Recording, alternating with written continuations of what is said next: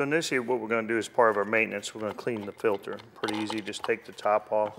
There's a filter in here. You know, be sure it's clean. Obviously, this is a new one, so the filter's clean.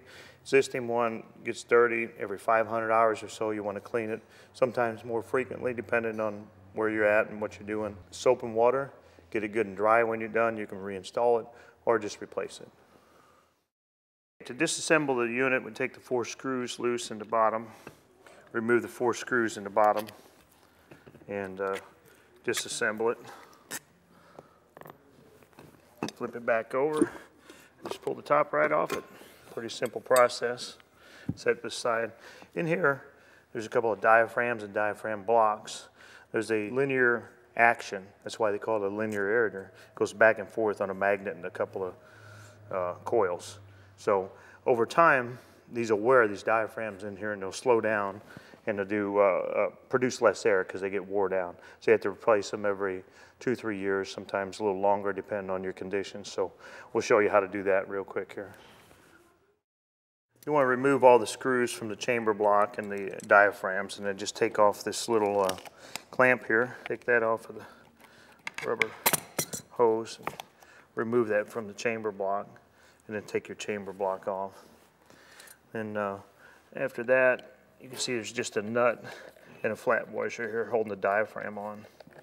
You go ahead and remove that nut and washer. Pull your diaphragm off of there.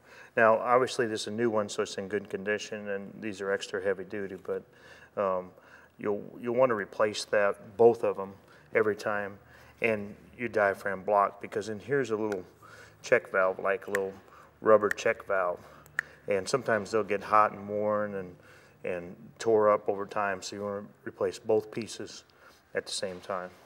So in the kit, it comes with diaphragm blocks, diaphragms, and then uh, new nuts and washers and a filter. So everything you need is right there to do a basic rebuild. The diaphragm, you can tell, this side goes to the uh, shuttle and the other side is where the washer nut goes on. So when you put it on there, there's a little uh, offset here. Just match up the offsets with this facing the shuttle, of course. Just snap it right in there. Nothing to it. And then put your washer nut on there and tighten them down nice. It's a lock nut, so it stay in place for you. So just tighten it till it's tight. Don't have to overdo it and strip it or break it out, but just a good tightening like that. Okay. Then a chamber block just slides right over that. Same thing. You can see the little slot here and a little tab here for the for the uh, assembly. Go ahead and uh, align them too. Push it on there, and then reinstall your screws. Make sure it seats good in the seam. You know, make sure when you're done that seam is tight in there, and you'll see as we pull this bolt in, it'll tighten up nicely. No gaps in there. All right, so that's about all for changing the diaphragm out. And then go ahead and reconnect your hose. Get her on there good. All the way on there. Put your, uh, put your clamp back on there.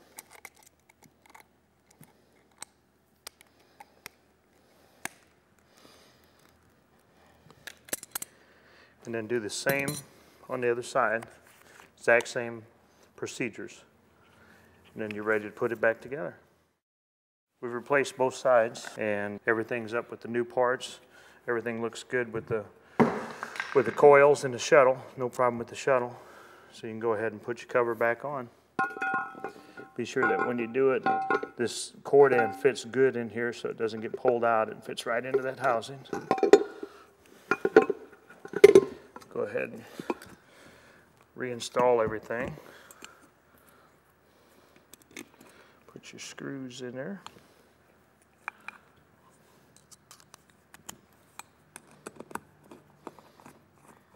So you want to put this, this hose bib is for a low air pressure alarm. So uh, some units have remote alarms and we have them with the alarm on there or, or remotely. So you want to put this plug on there, you won't need that for, for this. You only need it if you're gonna have a low pressure alarm. And then you want to take the, the supplied filter, put that in there, good air filter. Everything looks pretty good. Tighten her back up, and we'll plug her in. So now we got the new diaphragm kit in there. Everything looked good, the coils, the um, shuttle looked good, everything inside looked good, nothing looked burnt, so it's just a matter of replacing the war diaphragms. And we'll plug it in, and see how it goes. So there you go, you got good pressure, sounds good, running good, you ready to install it.